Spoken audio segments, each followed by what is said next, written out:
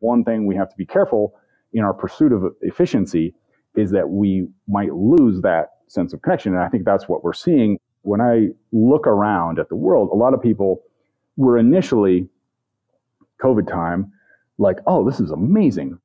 I've been wanting to spend more time with my boyfriend, but then they've kind of been their frog has been boiled over time. right. And you can sense like these people aren't happy, but they're kind of addicted to being depressed in a lot of ways. And so they're afraid to get back to anything like normalcy, not realizing like, yeah, it's going to be a little awkward when you have to get back into social situations, but we need that so desperately. It is just baked into us. Similar to what I was talking about with regard to if your life is chaos, you'll need more rigidity to deal with that, right?